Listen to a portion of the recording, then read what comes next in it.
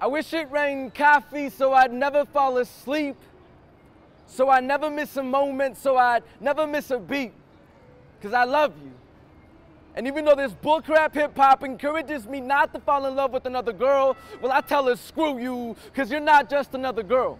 You're a princess. So you remind me of old school hip hop.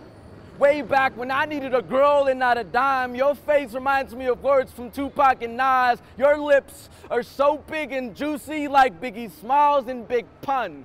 I'm not a player, I just crush a lot. But for a girl like you, I'll wait a lifetime because you're special. Because whenever I look into your eyes, I'm on a quest to find a tribe. A tribe lonely like Mochica. A tribe whose only mission is to keep its roots grounded to hip hop. And to me, that means love. See, I don't only love you because your curves give me the chill like Lauryn Hill's voice, or because your style is so unique like Immortal Technique's, revolutionary noise, but because when I'm with you, it's like Aerosmith and Run DMC. It's a perfect combination like Mobb Deep before they signed with G Unit. See, I need you to get by like Ty Talib. You're my ice cubes in my ice tea. You're my Wu Tang ice cream. You're my loving. You're my message. You're the only thing I need. And without you in my system, I'm incapable to breathe. You're my delight like Sugar Hill Gang. You're my perfect beat like Africa. I can't live without you like Big L. And you make my nation rise like Brother D.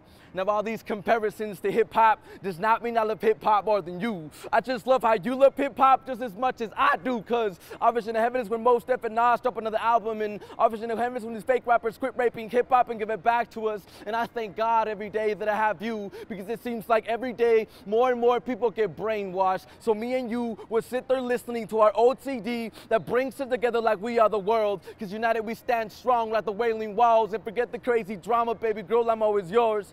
I guess we can be called the Jay-Z and Beyonce of our neighborhood, the Romeo and Juliet, Don Quixote, or Dulcinea, whatever you want to call us, just don't forget that we're in love.